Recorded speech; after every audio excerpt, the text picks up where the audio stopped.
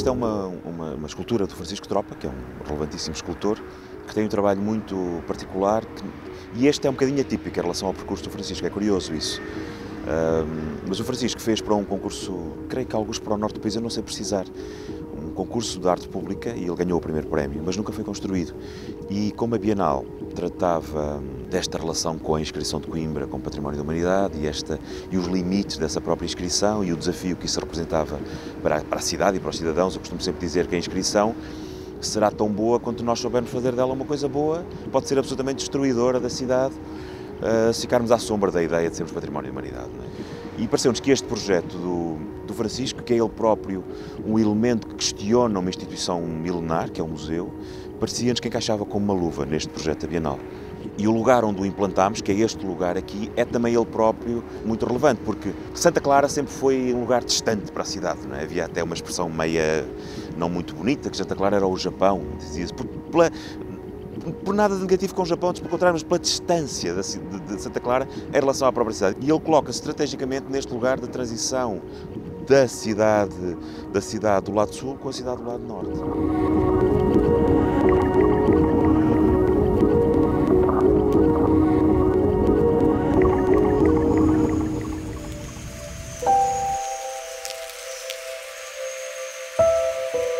A exposição que inaugura este conjunto é uma proposta do curador da Bienal, que propôs que se fizesse, por antevisão, uma apresentação do tema da próxima Bienal. E o tema da próxima Bienal é um tema completamente alinhado com o tema da primeira Bienal, chama-se eh, eh, chama curar e reparar.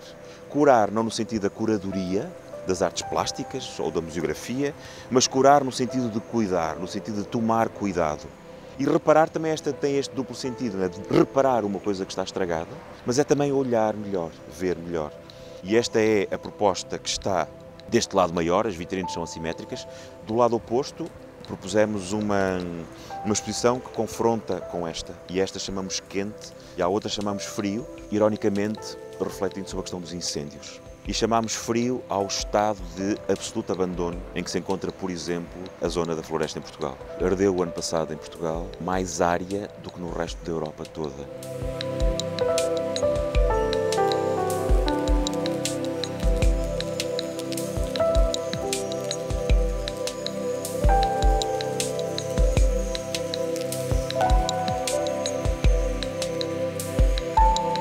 Nós já ouvimos coisas absolutamente maravilhosas, maravilhosas.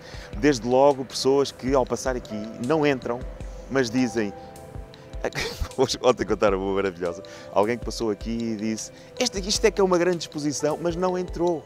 Portanto, de facto, a exposição não é grande, mas esta pessoa não teve sequer disponibilidade para ver dois metros de exposição, mas não deixou de criticar a escala. E isto é uma coisa maravilhosa, não é? as contradições que este projeto gera eu acho que é aquilo que verdadeiramente interessa ao Francisco, como artista. É compilar o, o, o que disto se dirá. Mas ainda assim, de uma maneira, uma perspectiva muito mais séria, eu acho que é possível, precisamente por essa escala pequena, convocar pessoas para ver o que aqui se expõe, os conteúdos deste museu, pessoas que não vão habitualmente a espaços museológicos e que aqui naturalmente começarão a ir. E esta prática de ver objetos expostos. Este museu é essencialmente uma coisa para, para a cultura material, para objetos, é? mais do que para obras de arte e ver objetos expostos e refletir sobre estes objetos e sobre a história destes objetos, eu acho que pode ser verdadeiramente transformador de alguma prática de fruição cultural da cidade e das pessoas, na maneira geral.